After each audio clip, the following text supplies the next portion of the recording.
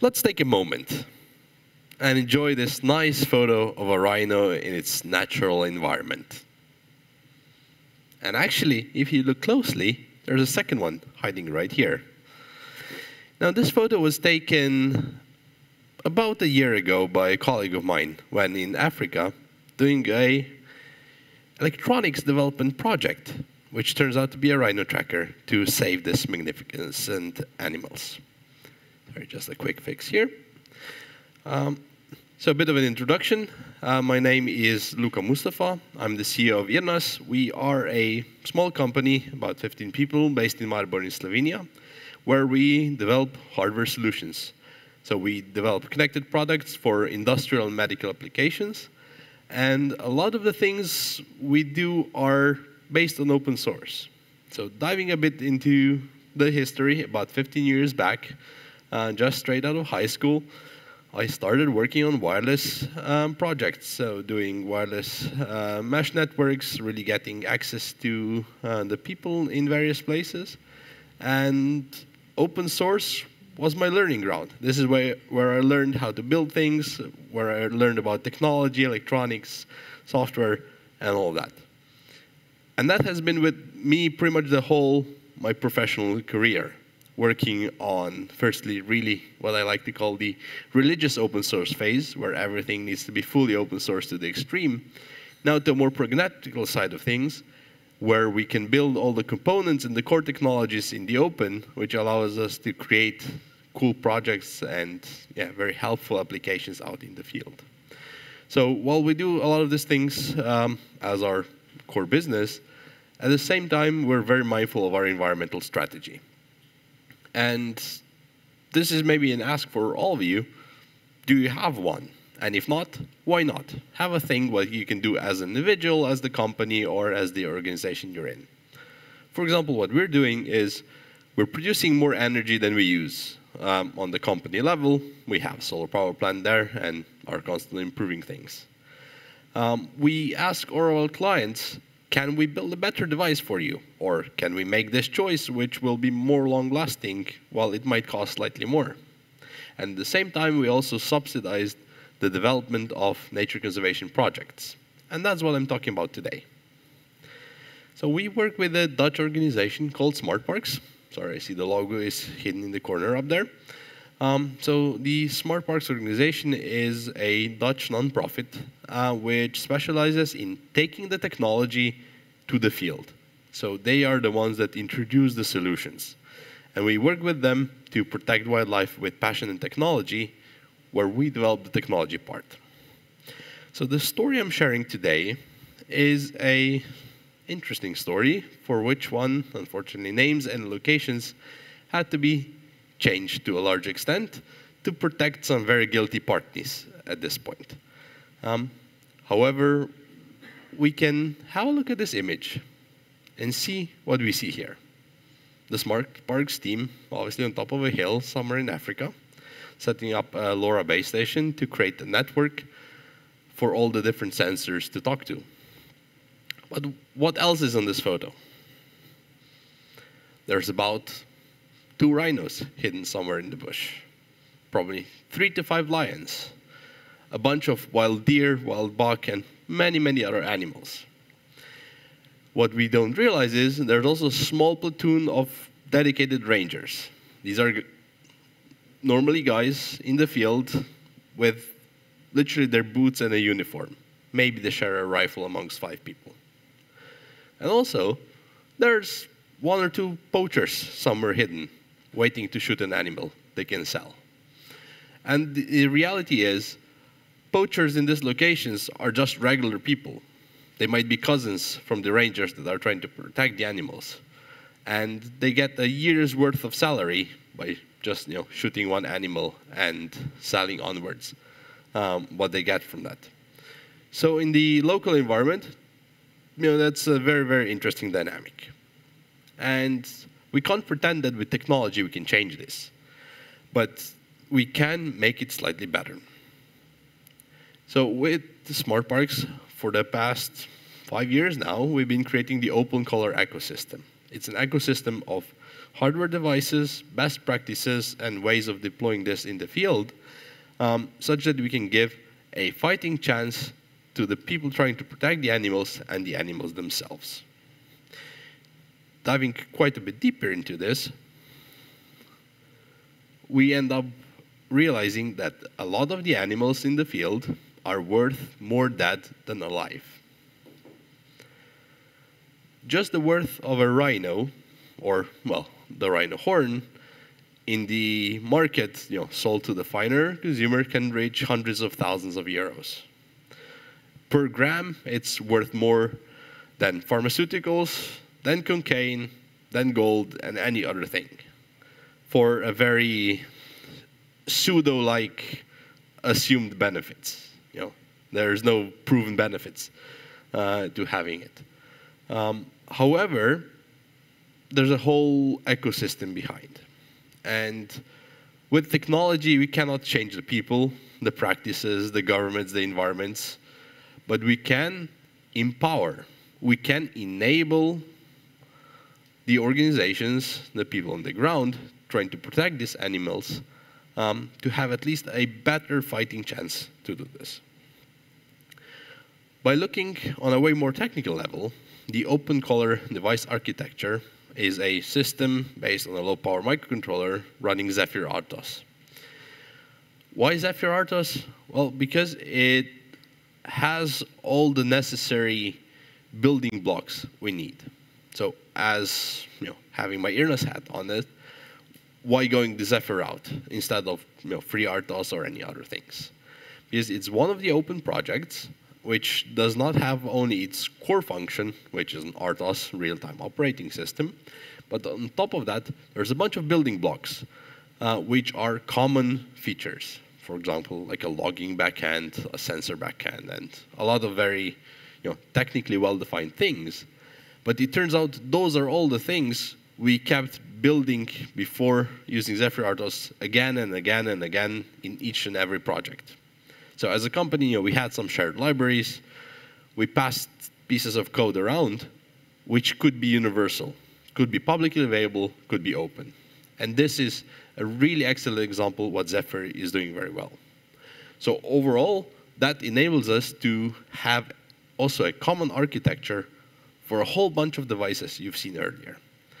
And this means we roll out better and products essentially better and way faster out to the field than if we develop them the old school way, so to speak. But what's the impact? We know the technology can help protect animals, but they, it's really about giving the chance to the people using it. So here we see a Smart Parks team in Africa setting up a network. So as you can imagine, there's a bunch of these conveniently placed hills above a flat field here uh, where we can put antennas and all the sensors can talk to it. In practice, in the Rhino, this actually looks like that we have a rhino horn. And I have a rhino horn here.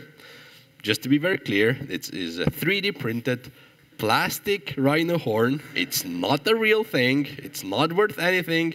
Files are online. You can print it yourself. Just to be very clear about that, not to make a mistake. So rhino horns, you know, start from about this size, which would be the upper one, and they grow much larger up to about this size. Um, so how to build a solution which fits in here? Well, firstly, a fun fact. Rhino horn is actually nose hair. So it's nose hair with some glue kind of growing out that way, and turns out to be a very hard and interesting substance. We can actually drill a hole into it and put something in there. That does not hurt the rhino, they don't feel it, but also because the rhino horn is growing, in about two years, this grows out. So it's not permanently installed, falls out, and we repeat the process. So every two years, you have a chance to install a new tracker. Um, when the battery life is expanded, you repeat the process, and you know where the rhino is. Now, given all the different sizes, we start from very small, which would fit in here, pretty much in the size of a horn, to the medium and the large size. Obviously, photos aren't to scale. Where the large size would be this, which is, you know, fits in a palm quite nicely. Uh, what this gives us is the understanding of where the rhino is. And hard to put things at scale, but for example, a rhino can roam an area which is a few days worth of walk large. And the few people on the ground also need to walk a few days in a direction to cover that land and actually be present. Um, and when we talk about scarcity, you know, even looking at things on the map, we'll see, you know, also a made-up map, not real situation. There aren't rhinos here. Um, we can see that, yeah, it's a super large area. So the person with the boots on the ground there needs to be roughly in the right area if they want to protect the animal. And given that you have about 100 times too few people in place, you really need to make sure that they are at the right place. So what do we do with the technology? We track the animals so we, where we know where they are. We track the people so we know where they are. We track vehicles, helicopters, all those things, so we know where they are. And the management of these areas, they can decide, you know, you go there, you go there, we'll, we'll all be in the right um, position. But also, we can see where animals hang about. You can see the watering holes, you can see um, how they walk around. And if we look closely and go back to our story, we can see a very, very interesting point up on this map. You will see this point here. Any guesses what happened here?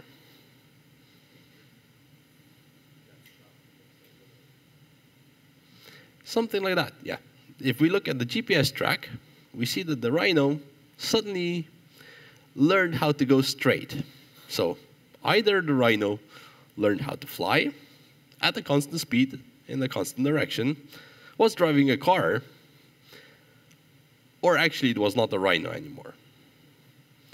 And I need to warn you, the next slide is really graphic, so if you feel a bit sensitive about it, no shame in looking away. This is what happens. The rhino is shot, the horn is taken away, usually with a chainsaw or a hacksaw or some really brute force method. And if the rhino is lucky, it's not alive anymore at that point. But that's not for certain. And while technology does not prevent this, it makes it a lot harder, a lot riskier, and it gives a bit better chance for the animals to survive.